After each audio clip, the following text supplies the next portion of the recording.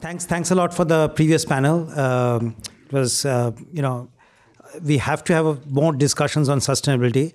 And actually, um, uh, I think in one of our previous forums, we had representations from, uh, I think, the IEEE Future Network Group and the Sustainability Work Group there. So um, we as CWC are very committed to sustainability and would love to continue the discussions. Uh, thanks. So our last panel, wow.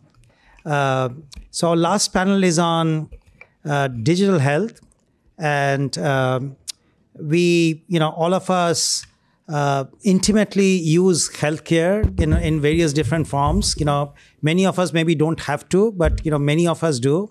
And uh, the question is that all the progress that is going on in terms of um, wireless technologies, especially mobile technologies, sensing technologies, and AI, uh, there's obviously a lot going on there. And how is it going to impact healthcare and specifically digital health? So that would be the question that we'll be asking and discussing uh, with an esteemed panel here. So what I would like to do is have the panelists just uh, introduce themselves very briefly, 90 seconds each of you, uh, and also to discuss or, or, to you know let us know about which aspects of these three things, right? Mobile technologies, sensing technologies, and AI that you might be have specialized in, and or you know what you have, what have you seen in terms of digital health, uh, and what have you done? What what has been your role in this context? And then we'll get into more discussions. Thanks. Sure. Good afternoon, everyone. Uh, uh, absolute pleasure to be here. Thank you, Dr. Dey. Thank you, fellow panelists. Uh, looking forward to a lively discussion. Uh, my name is Sanjeev Bhavnani. I'm a senior cardiologist at uh, Scripps Clinic, just across the street, competitor institutions, but I love UCSD. And uh, where um, actually it's nice to be back in the home of Qualcomm. so I was a Qualcomm wireless health scholar when this field was called wireless health back 12 years ago uh, you know, tasked with developing new clinical trial designs for wearable, wireless, ingestible, mobile health technologies. Uh, did clinical trials uh, across the United States, in uh, in Africa, India, Mexico, really to see how do we implement in different settings, uh, and then translate those to patient care uh, here in the U.S. and clinical cardiology and pregnancy and others. Uh, I later served as a senior medical officer for digital health and artificial intelligence at the Food and Drug Administration, working on digital health policy. How do we start thinking about this more broadly, right? And and that future of you know where are these technologies going and how can they be developed? Main things I'm interested in at this point are let's improve access, uh, some portions of efficiencies related to healthcare, and and you know cross industry collaborations for how do we get to some of the real pain points of uh, of healthcare delivery in the country. Tanveer. Thank you. Uh, I'm Tanveer Syeda-Mahmood. I'm from an IBM fellow at IBM Research. And I guess I'm a long term student of AI, probably about 40 years now, having gone through the ups and downs of AI. In fact, when I came to the AI lab at MIT for my PhD in 1988, I was told AI is over, you came too late. So, and now here we are. Uh, yes, we've gone through many uh, in the fields of AI, from robotics, if you see the Roombas uh, around, to uh, you know computer vision, to the last 20 plus years in healthcare. And uh, we, from the healthcare perspective, we came with the idea of augmented intelligence uh, to clinicians in terms of uh, giving them aid to diagnosis. And uh, primarily, we came from a computer aided diagnosis perspective, but we realized that there are many other ways of delivering AI that could also be even lower hanging fruit uh, as you go. So, our goal has been to get these tools in the hands of clinicians that would impact clinical care, and uh, that's where we still strive to do uh, as as we evolve. Great. Thanks. Hi, everyone. Uh, my name is Drew Hall. I'm a professor here at UCSD in the Electrical and Computer Engineering Department. I'm part of the Center for Wireless Communications, as well as the Center for Wireless Sensors, and an affiliate faculty in the Bioengineering Department. My research interests are on the intersection of circuits and the life sciences. So I work on a lot of biosensors, biochips, uh, medical or short range radios, um, and high performance data converters. Um, so I'm here on the panel today to talk about some of the sensors that, that you might use and designing them and thinking a little more futuristically about them. Thanks. Thanks, Alex. Yeah, my name is Alex Gao. Uh, I'm the Chief Strategy Officer for Health Unity. It's an open research consortium that focusing on using Gen AI and digital health for uh, health delivery transformation. And uh, prior to this role, I found and led Samsung Digital Health Lab for about seven years, during which we focus on developing novel uh, evidence-based digital biomarkers and uh, piloting using uh, uh, patient-centric design thinking method piloting health services, as well as using a large language model, Gen AI, to develop health coaching. It's great to be here. Thanks, you, Alex. Aadeel? Uh, hello, everyone. So I'm uh, Aadeel Akhtar. I'm the CEO and founder of Psyonic. We develop advanced bionic limbs that are affordable for both humans and robots. Um, and so this is something I wanted to do my whole life, ever since I was seven years old, was build bionic limbs. Uh, we have over 150 patients using the hand. The hand is covered by Medicare. It's, there's a lot of sensing technologies in here. So it's the first hand on the market with touch sensing. So our patients can actually feel from it, and we can uh, uh, transmit that wirelessly over Bluetooth or other paradigms as well too um, to give users uh, uh, opportunities to teleoperate the robot or just use it directly connected to their nervous system uh, as well. Um, NASA has been using the hand. They want to send it on up into space on a humanoid astronaut robot that we can teleoperate there um, as well too. And we've connected with like brain implants and things like that. So lots of different communication paradigms happening with, with all the same um, robotic product here. And so we just moved to San Diego about a year and a half ago, and we're working with the military hospital in town. I'm affiliate faculty in bioengineering here at UCSD um, as well. And we're working with the hand surgeons and orthopedic surgeons to for the next generation of these devices that will be directly attached to people's bones and their nerves, um, so that we might have our first patients playing piano in about a year and a half to two years. Thanks, Aadeel. So Aadeel hid one piece of information, and that is uh, he's the first uh, person that I've met in person who is a Shark Tank winner. and so I'm going to ask him that how did he how did he become the winner? What is the demonstration that you gave that Mr. Wonderful chose to uh, invest in you. Oh yeah, absolutely. And so, um, uh, can was, you can you show me a demo of that? Yeah, absolutely. And so I was mentioning that typically these are uh, these hands are controlled by your muscles, and and um, uh, right now the way they're clinically controlled, they use um, pre-programmed grips. So I can do like a finger wave, or I can like switch that to doing like a thumbs up or like a key grip. But when we control our own hands, we actually do individual finger control. And so we're going to do something fun here. And so Sujit, if you actually put your hand in front of the camera here. Okay, it'll not bite me. No, it, sh- it shouldn't bite you. okay. So let's see if I can get that. Yep. So if you back up just a little bit more, right there. Okay, and bend your fingers. Then you're actually controlling the hand wirelessly, um, and it's mimicking exactly what your hand is doing. Okay. And so this is what we want to do both via teleoperation and with nerve implants. Okay, that's great. so let me let me follow up on this. So this is a perfect example of uh, how sensing, right? Uh, machine vision. I'm assuming that there is a lot of machine vision here, machine vision, artificial intelligence, and some form of communication is working out here, right? So this is this is a great example of uh, innovations that might come because these three things come together. So let me ask you this: What are your current? Um, uh, you mentioned about some adoptions. Uh, looking into the future, so you did this where I'm right here can you do this today with uh, and there's haptics also involved right? Because so can you do this today? Uh, suppose i were in new york city and you know and this is in the hands this is in my hands maybe. I'm i'm the i'm you know i'm doing rehab and a doctor here is instructing me what to do or a clinician or a physical therapist.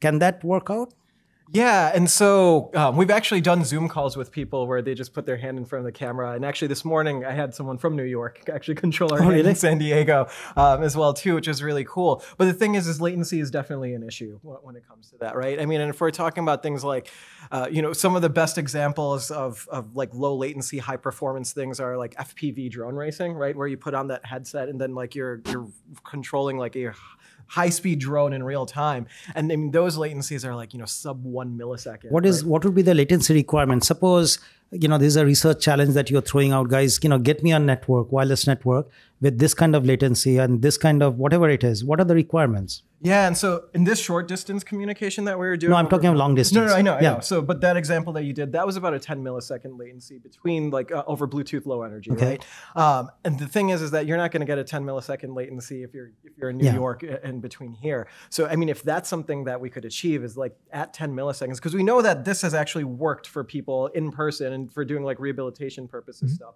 So, if you want to do rehabilitation over that that that long distance, if we could get that same level of, of latency where it's just like a 10 millisecond delay, I again, I, I'm not a wireless expert, so I don't know how achievable that is. But that's a challenge to all the wireless experts that are here is whether we could do like a long distance, like sub 10 millisecond um, controlling a hand wirelessly. But that has implications beyond just like rehabilitation. I mean, robotic surgery, for example, being able to do that with like precision instruments.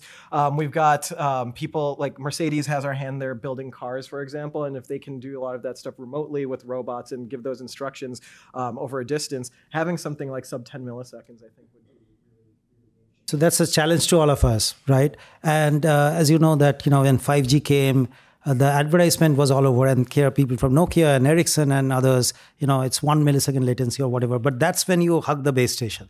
But when you're away from the base station, you know, all bets are off. Uh, Drew, going to you. So in terms of sensing, so you know, you specialize in wireless sensing technologies, right? And uh, one of the other aspects is power. So whenever we are talking of sensing, you know, we are also taking talking of power.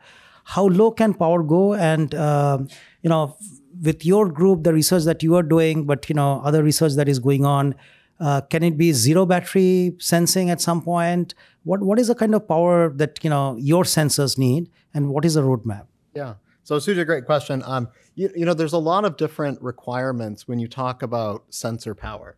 You know, for one example, if you wanted to connect the bionic hand to a neural stimulator, the power there is obviously much higher because you're stimulating the brain, probably recording neural activity at the same time to, to form a closed loop situation. You can also think about wearable sensors that are monitoring, for example, biochemical signals, monitoring stress, monitoring, you know, any number of different uh, physiochemical aspects of life. And there, I think that you really leverage a lot of the fact that biology is slow compared to electronics, and so you don't need to sample this typically on the 10 millisecond time frame. It's more on the 10 minute time frame. And so duty cycling really allows you to to reduce power there. So you can trade off. Absolutely. Um, you know, to kind of put some numbers and give you some examples of things that we've done in the past, um, we've actually developed one of the, the lowest power injectable biosensors that's ever been reported. So this was less than a microwatt of power injected subcutaneously under the skin, and it the wirelessly received power and wirelessly transmitted the data back. And so I think that there's a lot of opportunities coming up um, in this space in particular that have not really been tapped on the healthcare side of sensors um, that we're only really starting to get figured out due to the regulatory pathway that sits in between a lot of these.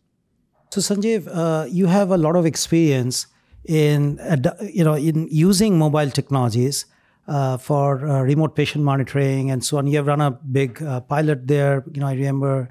Uh, so I'll I'll ask you about adoption and security and um, you know regulatory issues later. But uh, let's say this implantable sensor, you know, which is wirelessly transmitting data and uh, also receiving power wirelessly. And you know, in your field of cardiology, how does it open up potentially uh, new ways of thinking about it? So imagine that when you are doing your pilots with mobile technologies, and suppose these kind of technologies were also available, or you know, they are becoming available. How does it open up things from your experience running these mobile technology-based remote patient monitoring uh, pilots? No, it's a great question. Thanks, Sujit. And Sorry, and you know, I, I have not practiced any of these questions with the with the panelists. I apologize to you, but it makes the panel much more free flowing and like you know interesting. and last panel of the day, it should be as interactive as possible. Uh, congratulations on your on your progress as well. Uh, you know, at, at anything new that is you know a, a prospect in- ingestible as an example uh, for people, uh, and that can be you know people, consumers, patients, uh, will have a side of discovery to it. We're doing something new, monitoring a physiologic parameter or multiple physiologic parameters in a location we've never been able to do before, right? From a hospital setting now to a home, to an environment, to a where where it might be. So we have the ability now to collect data and hopefully analyze it to identify new patterns of what's happening to health, what's happening to disease, what's happening to that change over time. So the discovery side of it. That, then there is how are we identifying and making people better, right? So there should be a match, hopefully, in a few of those areas, but even one is enough. That this parameter is informing this particular disease state. And we have therapies, whether those be lifestyle, exercise, nutrition, you know, good, good health, or medications, surgeries, interventions that can be done earlier to now, you know, mitigate, either halt that disease progression or hopefully reverse it. And that's the discovery portion of, uh, of reversing a disease process or preventing it from happening. So I think when this comes up, right, and it, it, it will center a lot on you know, we said this, uh, and it, it probably rings true to the audience as well. You know, the right parameter in the right patient, the person in the right time, right? And things have to come together like that. But that's where you know we hopefully figure it out. So to look from discovery to then the person and their disease. Thanks. Tanveer, uh, of time i'm sorry you have spent a lot of time you know your group developing multimodal ai models uh, you know you continue to do that and apply to health uh, what has been your experience what has been the impediments in terms of what are the technological challenges in terms of getting data uh, fusing data what are the technological challenges in terms of you know even uh, getting it in the hands of clinicians and so on other other procedural challenges? Can you tell us a little bit about your experiences? Yeah, when we started working in clinical decision support back in maybe 2004 2005 timeframe, there were no general electronic health records being yeah. used in hospitals. Uh, Kaiser was one of the few, Cedars-Sinai another, and so on. And um, you know, getting data out of these systems was a big issue in first place. So yeah, even if you wanted to do the analysis, so that was, uh, and data integration and data exports and standardization still is a major problem for many of them. The second thing is understanding the clinicians' needs as to what exactly, in what form do they need these type of systems. And if you worked in isolation, just building your models, your latest, greatest AI models, if you do not interface with the, the community to understand what their needs are. You might build something they either don't need or it won't work for them. Uh, and so they lose interest as well. So the adoption aspect of it has many different dimensions. The first and foremost is the functionality itself for these models. So building it to specs. And I'll give one single exa- simple example. We have research going on in stent placements in uh, interventional cardiology practices where you have to get the diameter uh, measurement right. So to get AI to be so precise to locate the stents within coronary arteries and make sure that the measurements you're making are so precise within the few millimeters so that you're not under or oversizing. The stent is very important to get AI to be that precise requires considerable amount of research uh, with right data and annotations, which becomes and each of these could take several years of research to do. So that is one of the functionality aspect of it. The second is in what form do you deliver so it's easy for adoption, so that it integrates with the workflow. If there is something you have to do additional to go and actually make it work, uh, or in or somebody else has to do that, it's not going to happen. So the integration with the workflow, and if it disturbs the clinicians and lets them spend more time trying to, you know, use this, they're not going to listen to that. So there are many barriers like that in getting AI adopted, which is one of the reasons why I think you might also talk about this. Is the the adoption of AI in uh, in workflows has been low uh, because of some of these factors as well. So so that's those are some of the barriers I see for uh, AI. So, uh, Alex, uh, I'm uh, next going to talk to you a little bit about your past experiences. You know, as you said, you founded and led the digital health initiatives in Samsung. Uh, there, you know, from that experience, I'm going to ask you one question, And then another question I'm going to ask you from your health unity, you know, goals. From the health unity goals, you are going to, uh, you know, lead to generative AI models, especially for medicine. And um, you know, so following up on what Tanveer was saying, you know, how you are sort of learning from the experiences in the past generative ai is very exciting. You know everyone is almost compelled to adopt it. So you have a you know real huge advantage now.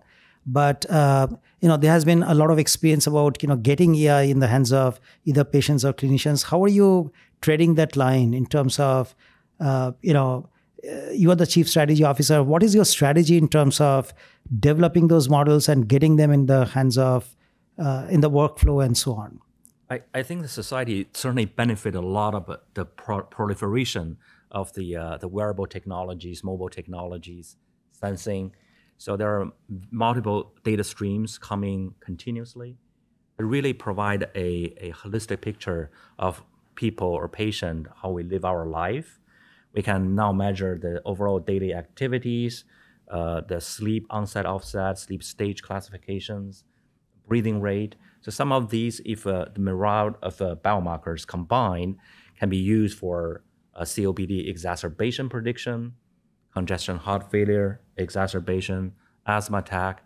So these are some of the um, prognostic application benefit from the, the data. I think the LLM, the Gen AI coming in in the sense of now we have a very rich set of data continuously on top of EHR EMR, which um, it's hard to get access to, but also a lot of study indicated is there not as much value compared to a continuous way monitoring uh, people and how we live our life. And if you combine this with uh, the Gen AI LLM, it's really uh, now you have the full context of patient, and you can develop much more personalized interactions with them. And more importantly, instead of a, a traditional Q and A fashion, now, by, by knowing the context, your behavioral, physiological, the system and the, the algorithm will be able to identify the right moment to initiate the conversation and the Q&A. I think that's extremely powerful, right? I think the um, a lot of technology development is uh, evolving, but we're in a very fast pacing evolution. And if I may follow up and ask you about your Samsung experiences, uh, you know, irrespective of the NDAs that you might have signed and things like that, what is a roadmap that we can expect to see in terms of mobile technologies, uh, incorporating in them sensing technology? So, you know, in our watches, in our patches, in the rings, in the mobile phones, you know, what is coming? Yeah. So, so right now, I think by 2025, the estimated uh, we will probably globally have five, uh, close to two billion phones sold per year, 500 million earbuds, um, maybe approximately near 200 million smartwatch, 10 million uh, smart rings. So we can see there are really man- many di- different ways of measuring. So how to add these health wellness feature to these uh, wearables because it's always on and next to the uh, the people how to cr- use these data, po- data points wave into a cohesive uh, understanding of the patient and identify opportunity for engagement, coordinated care um, so you name it, everything that from more accurately uh, identify the, the, the, sleep onset offset, uh, uh, more accurately do stage classification. Can we passively monitoring the, the AFib burden? Can we predict uh, COPD exacerbation or seizure uh, taking place minutes or tens of minutes before it take place? So all these are very powerful applications. So you will see not only Samsung, any device manufacturers are having a roadmap array of these kind of biomarkers being under development. And those can would be feed into a large language model, Gen AI, to uh, for innovative uh, applications. So, Alex, uh, keeping with you, because you are in a very unique position, you know, of all our panelists here, because um, you know you you know wireless very well, you know sensing very well, and you know all these biomarkers, applications, wellness. You know, you have you have worked with all of these what are the what would be your ask from uh, wireless companies or you know both from a infrastructure perspective from device perspective? Do you would you have a wish list now that you are in a new role? What what would be the and again uh, i apologize to you guys but you know i've not talked about any of these questions. It's just free flowing in me okay? So i'm not putting on, on any in any spot. But what do you think? Uh, what are what are the asks? What what can happen I- besides all the uh, someone used the word marketing, you know, five G, six G, all these things. What are the what are the things that can be delivered in the next several years, which will make it even more accessible for patients and for caregivers to use digital health technologies? Right. I, I think definitely for the uh, power assumption, uh, consumption is need to be low in order for the wearable to be uh, always on continuously. Right now, the earbuds can only last for four hours, and the, the smartwatch with uh, fancy applications maybe two days. But if you do start cycling, uh, sampling in a continuous fashion, it will drain the battery a lot faster. Uh, I would also say the, the some of the sensing capabilities. Can we develop the capability for future non-invasive glucose monitoring? Uh, One of the holy grail. Can we do um, uh, the cuffless blood pressure? Right. So these are the things are are, are the challenges. Um, that definitely I, at uh, a, a LLM and Gen AI level, how we reduce hallucination, make sure the uh, the clinical efficacy is high. From digital biomarker development point of view, how we make sure the total uh, dynamic range, the data, uh, when we develop the biomarkers, uh, are more inclusive, not on a specific uh, population, right? So that the biomarker isn't fully tested and validated. So I think the list is long, but I, there are so many like-minded people, and we're all collectively uh, pushing forward. Yeah. Right. So uh, we we have time left, but you know I would like to encourage the audience to participate and you know have their questions. Anytime you have any questions, I see a question from Ashu. Yes, please. Um, thank you very much. Yeah, great comments. Um, um, so there is an example. And we're just getting started. they're just getting started and maybe i'll stir the pot a little bit um, you know there is a, a great example of a, a wearable which is extremely successful saves millions of lives just continuous glucose monitor and has been major major impact in diabetes um, and i would say the reason it worked really well is because it is measuring exactly what needed to be measured which is a glucose I mean, we would love to measure insulin. We can't, so that's a proxy. We measure glucose.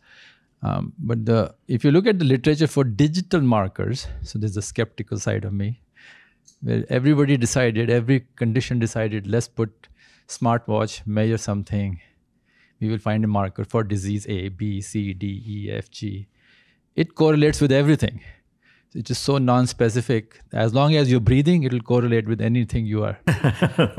so um, I wanted to see if you are seeing real success in something. I know it may not be adopted in clinical practice, but are they specific? Are they specific enough that it will actually translate into practice? I don't know who. Yes.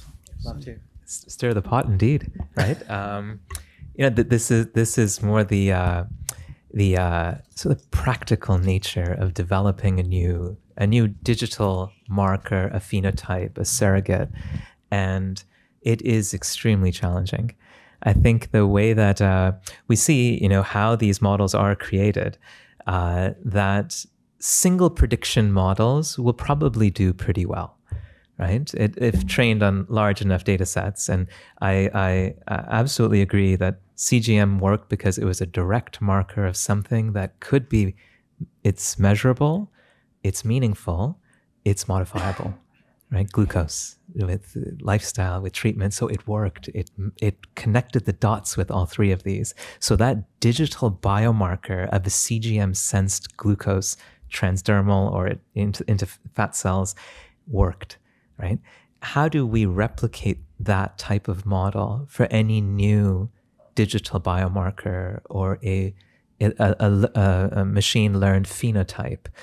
Because you're right, there will be a lot that it can predict, but there will be very little that it will predict very well, right? And then that very well translates into we understand this person's risk and we have A, B, or C available to us now, maybe D, E, and F in the future, to be able to then get to that last M, modify it, right? So um, hopefully, hopefully, a, a opportunity to developers, academia, you know, industry to. We're at a phase right now with the advent of new um, uh, machine learning models, right? And you know, ensemble models and things that are getting much more complicated um, and complex. But how do we do that now in a way that we know translates? So I think a very good question, and not everything will work the way that we plan that it will. It's one of those things where you know domain knowledge is still relevant. Mm. One would think data tool, if you had enough data, you could um, you know substitute for domain knowledge. But there is a balance and i think we are hitting that balance now when we put generative ai into practice particularly in medicine. Even if you take synthetic data generation methods like diffusion models to get a diffusion model to elicit a specific pathology is very difficult um, but looking, making it look like a chest X-ray, no problem, right? But if you want to, uh, you know, uh, inject a specific disease in a specific location, then that requires further understanding of the disease uh, incorporated into the models. So that's where I think the the next generation of work in these type of models is going to be how to best incorporate domain knowledge and that might answer some of the questions about larger versus smaller models sometimes people have found that um, that trade-off could be made in here as well. So overall it comes down to ai being good for uh, that specific task. And you can make it good for very specific things that are the low hanging fruit. but to get to the full spectrum the field is still open. So as the sensor guy i have to agree with your skepticism that you're ever going to get high specificity from these general purpose markers. And I think that it's only going to come when you augment this with more specificity. I mean, mm-hmm. the CGM is a great example, but it's very specific. It senses glucose. It doesn't tell you your blood glucose from your heart rate, right? I, I think that the wearable has been the low hanging fruit. It's easy. Uh, but it, it's not rich enough in some of the data to really do what what we want to do, and that's only going to come when you start to augment that with specific sensors. So I tried to steer the panel back to the consciousness that this is a wireless conference. Uh, you know, and would love to engage with you in a non-wireless way, going into the biological sciences and so on. I would like to ask the panel. Uh, so, you know, we have a lot of excitement going on in RF sensing. Uh, you know, and uh, what what you think would be the utility of RF sensing going to the future? So, for instance, you know, in sensing how I'm sleeping, you know, you mentioned about sleep multiple times uh, we don't need to then uh, resort to sleep apnea machines and you know other ways of sensing you know in terms of my hrv what, what do you think of the promise of rf sensing anyone? anyone? I mean, I think that it's a really interesting space. So, I'll give one example of one of my colleagues at the University of Washington. Um, he uses RF sensing to, mo- to monitor opioid use. And so they, they use this to monitor opioid distress, um, respiratory problems. Um, I think it's a really interesting opportunity. Um, I worry that it's not, again, going to give you quite as much data as you would like. I and mean, also from, the accuracy aspect. Exactly. I mean, I, I think that there's always going to be some error bound here, and you know, detecting if your breathing is going down by whatever 50% probably, but 2% for yeah. sleep apnea, as you mentioned, probably not. And so I, I, think that you still need to be a little closer to the patient or user for some of the applications. Mm-hmm.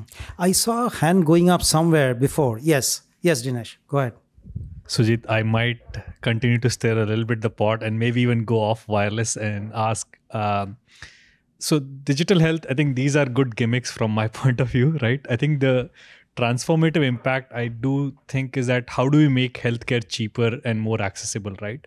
And how does this uh, digital health as such help in that that larger venture right? Uh, maybe i think uh, it may goes off wireless but i want to see as a wireless researcher like truly what can i solve and where am i contributing if at all? No, your question is very relevant. I mean you know if you think of adoption all the hospital systems will care about is how to get the cost of care lower. So any any uh, Sanjeev uh, Aadeel, because you have been working with health systems, what do you think? Yeah, I mean, so what do you think in terms of you know the cost they are willing to pay and so on? Yeah, and uh, I mean, when we were designing the hand, um, when we did our initial like um, the talks with like clinicians and, and patients, the, basically the payers, um, the their goal was that if we could get a hand covered by Medicare, then that would be the gold standard. Because if Medicare covers it, then usually all the in- other insurance companies follow suit. And in order to do that, the, the clinicians needed to be able to double their margins. So that basically gave us the design requirements from the beginning that okay, this is going to be the uh, the price point that we need to hit. This will be the cost structure that we'll need to hit in order to make a company that's going to be viable. And uh, when we looked at it through that lens, that restricted a lot of the the technologies that we could pursue, and it actually forced us to think in different ways. And like, how can we make something that's more advanced than anything else, but then is also much more cost effective to make than any other um, device too? And so we had to like, uh, we invented like new 3D printing processes where we could 3D print molds and inject silicone into those 3D printed molds, as opposed to doing like much more expensive manufacturing solutions. And so again, I know this is a, a stray from like wireless, and this is more hardware uh, based, but I think the the overall general point is that if um, if we approach these research questions um, from a lens of these are the constraints that you cannot go above these costs in order to make a, something more accessible at a wider level, then it'll force you to think in a different way that you need to design the system itself so that it won't be an, a large expense, um, especially at volume. And on the other hand, uh, if I may also say that, uh, you know, one of the things that is definitely going to happen, and hopefully uh, the panel will agree, that using generative AI and, you know, various other AI, right? We keep saying generative AI, using AI techniques, uh, that how to reduce, how to improve the workflow within, you know, clinic systems and how to reduce the care burden uh, is, you know, is definitely going to be two things that people are looking at. You know, I know that multiple companies looking at and so on. So Sanjeev, uh, so someone comes to Scripps uh, saying that they have a this amazing product, or someone comes to Scripps saying that uh, I have this, and as Aadeel was saying that it might not be the the most optimized product, but it reduces the care burden. It reduces the uh, you know it improves the care efficiency. Which one will get more adopted? And what would be the what would you advise to people who would like to develop new technologies, develop new digital health products to do in terms of getting adopted? What, yeah, so from efficiency perspective as well as uh, reducing the cost of care perspective. Sure, and um, extends from the stir the pot. Uh, so I'll hopefully stir the pot a little bit more with the answer. Uh, that what are you solving for? Right. Um, that's where where it must start. And so um, I pose this net actually also to my to my fellow panelists. Uh, when looking at the prospect for a new AI tool or ML algorithm or device, or digital health device, um, if you, we simply just look at a two by two uh, table, right, uh, and on the on the bottom you put what a human does, right, what is easy for a human, what is hard for a human, and on this side this, this axis, you put what is easy for AI and what is hard for AI. So, it is easy for any human, human being, that could be the workflow of a patient, that could be the workflow of a physician, that could be whatever it is, should be easy for AI to replicate, if not make any better. So, as far as any low hanging fruit, don't like the term, everything requires a lot of work. Um, that that is there, right? And that is identified in what are you solving for? Where do we want to go? right? We want to go with this to what is hard for humans and potentially easy for AI, right? So, what is hard for humans, I think I, I have not been able to put anything into that box until I met you, right? Uh, what is hard is exactly what you are solved for, you're solving for right? And, aug- and augmenting a task for a human, a patient, a person, a technologist, a surgeon that is very difficult, but to do it with artif- with a device and an algorithm that is more precise and potentially easier. We want to get there. So I think for anyone that comes and is building something, you understand what you're solving for, but identify what is the task optimization that is the solution and laser point on that, whether it's a better diagnostic tool, a better triage tool, a better identification tool for treatment in this, these types of categories that it's not precise with what we're doing inside hospitals, but this is what the algorithm can do to make it better. I think many times it's not the cost, it's not the. Right. Uh, I think it will boil down to the completeness of the functionality and the functionality itself. I mean, there are many things that are very costly in medicine, and people do spend the money to get those, like scanners and those sort of devices. So, so I think when they see the value and utility of something, they would spend on AI. But when we did value propositions during Watson uh, Watson Health Times for designing products and so on, um, you know there is good business justifications like first readers for imaging so that you save the time that the clinicians actually focus on the right patients instead of the normal ones that they can basically mm-hmm. filter um, that works well provided you provide give a tool that can guarantee that there's no abnormal case that would be dropped and obtaining that guarantee itself is a tall proposition for ai so again it boils down to the functionality. Could you implement that in a stage that is a no-brainer that you can actually get down to? Very few diseases that has been able to uh, people have been able to achieve for that. So i think eventually it will come down to um, and how it fits in the workflow, which is another example I gave. If you had to babysit it, if you can only solve five of the diseases, like in chest x-rays, most people will five findings or 14 findings. What about the rest? I still have to write my report. But there are some use cases with generative AI where now you can think of if the uh, the language description has evolved to the extent that you can automate a report and you can ensure clinical correctness of it one can see the value proposition in, in clinical workflows because writing reports is one of the major pain points. It's not difficult for humans, but it's boring and it is not, uh, you know, it's not a fun task for them. So if that's something that could be automated, that would have been good. But again, we come down to can we guarantee that the report is clinically correct? And, and so that's where the so I think ultimately it is coming down to more technological innovations needed before we can get to uh, you know at the kind of adoption we need to see in healthcare. But point wise, you will still make progress. Can I stir the pot yeah. a little bit yes. more? Uh, I like that stir the pot for the last last topic. Um, in designing for people, right, and and now with patients in mind, when you ask, and one of my colleagues, Dr. Beckhurst, is a, a, a transplant surgeon, is here. She may agree with me that when you ask patients and people, we have this new digital tool or this new algorithm. What do you think? Like when I asked my patients when we were defining digital health in Wikipedia, we took our took our definition and put it there. Um, that almost uniformly, people said, "I don't know what you're talking about, but if it is a better way for you to communicate with me, then that's that's digital transformation." And that doesn't, that can mean that what are you solving for, right? That is post hospital discharge instructions. That is, how do I get my lab tests done at home instead of, you know, 50 miles away in a clinic, right? Monitoring blood pressure, you know, 30 times a month, once a day versus coming to clinic twice a year. Is that, that, that data, that participation is communicating the health information better that can lead to then decisions. And I thought that was a very, eh, it was a moment of pause when people said that because it helped define, right? What are we solving for? And if it is a way to better communicate this information, well, that's a good place for us to start and hopefully finish. Yeah. Yeah, I, I have some observation I'd like to share. Usually in digital transformation, you don't necessarily start from a, a technology or an algorithm you look at it, what problem you're solving.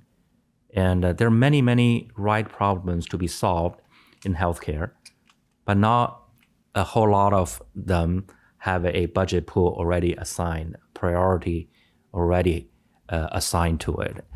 As a startup, as a technologist, focus on those problems, not only the right problem to solve, but also have a budget pool mm-hmm. already mm-hmm. allocated. You can you can have a developer solution cannibalizing the existing solution. Don't focusing on the absolutely right problem to solve because if there's no money attached to it, you won't it won't matter, right? It would take way too long, especially in the technology world where our product life cycle is every six to nine months, versus healthcare is even a sales cycle can be 18 months. A CPT code issue, uh, issuing can be three to four years, if not longer uh, so that's I think something that I like to share with especially the entrepreneurs. Yeah. So there is a question. We are starting to run out of time.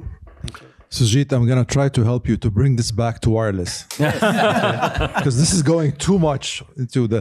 Uh, I think with 6G, uh, we we kind of know that you know the sub terahertz frequencies, you know, is kind of like a far fetched far fetched out dream for communication. But what can we do for health with uh, with sub uh, you know sub terahertz frequencies for sensing and stuff like that?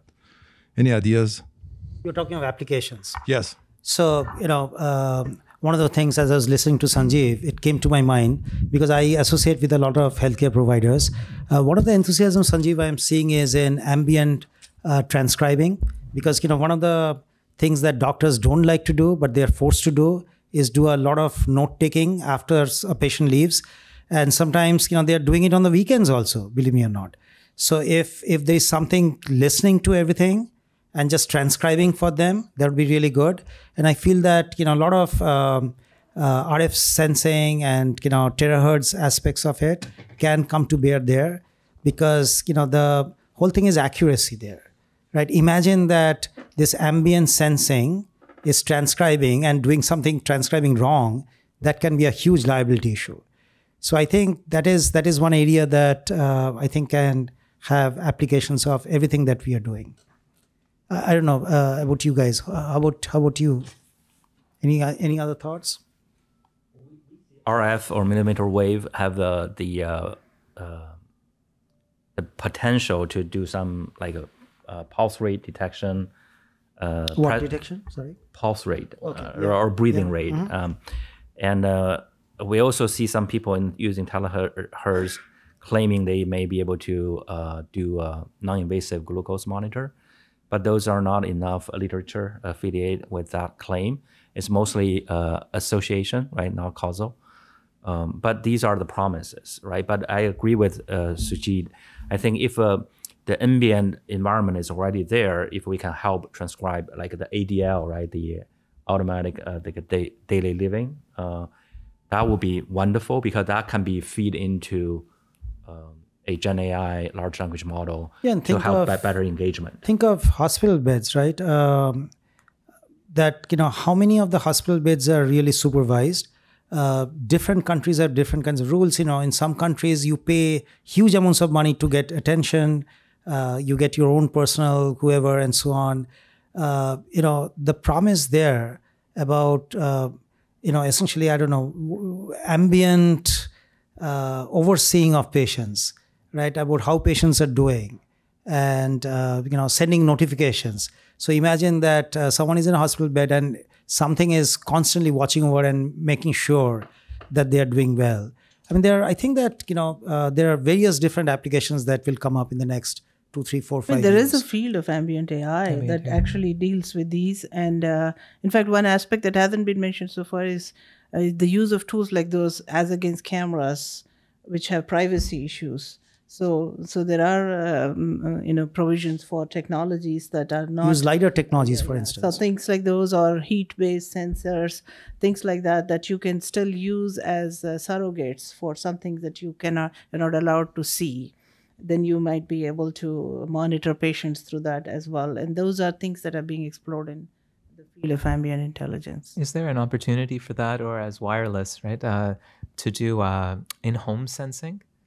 yes S- s- so as you know sanjeev homes? that you know uh, so many hospital systems are now trying out hospital at home as a caregiving paradigm uh, not to replace anything but to supplement everything that is going on and so there, there there can be a lot of applications of wireless sensing essentially not in not rf sensing but you know combining wireless and sensing I mean, the future, as I see it, is if you are able to collect the data seamlessly through these sensing technologies and integrate it with the analysis piece, and the two synergistically can evolve to much, uh, know, much more enhanced services in future. One such thing that you know we've been doing research is in augmenting memories to memory impaired patients. And, and in those situations, if we could do silent gathering of information as if uh, using the way they would have used their senses, but then feed them back from a recollection standpoint. That's one application where sensing technology could have made a difference. Of course, that needs to be augmented with sufficient computer vision and sufficient uh, you know audio understanding and so on to be able to get to that point but if the technologies evolve you could imagine doing even more augmentation uh, with these uh, in combination so uh, I, I want to throw this uh, this uh, situation out there too, especially as um, we see more things like you know Neuralink and brain implants uh, coming out as well too.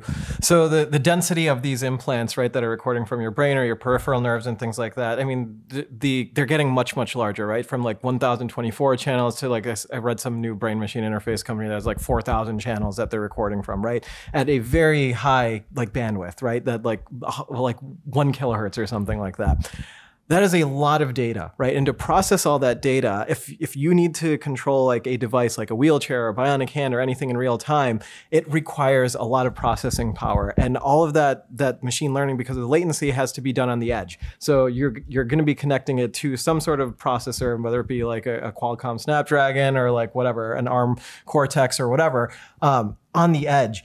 And the thing is, is that that really limits your processing power, right? If you have all this data coming in, but you can only like compute it on like this this small chip at the edge, then you might not get like the precision that you want. But you have to do that because you need to do this in real time. But if with 6G technology or, or whatever um, uh, wireless technologies that are coming out in the future, if we can offload that compute quickly enough to do it in the cloud and then give you the response of what the, the output should actually be in a in a timely manner, I think that would be a huge game changer. And you were mentioning power saving like as yeah. being a, a, huge feature. That w- that is one way to mitigate the power saving because you're offloading that uh, onto the cloud. And I, I don't know if 6G will will get to the, get us to that point um, with in terms of like speeds and bandwidth um, for us to do that compute and get it fast enough to control something in real time. But I think that would be definitely like a grand challenge as well too that if we could get to that point. That's a great example. And you know i can speak from firsthand experience on this because i'm part of a large nih funded program here at ucsd to develop neural implants for recording. And we are developing a 4000 channel implant.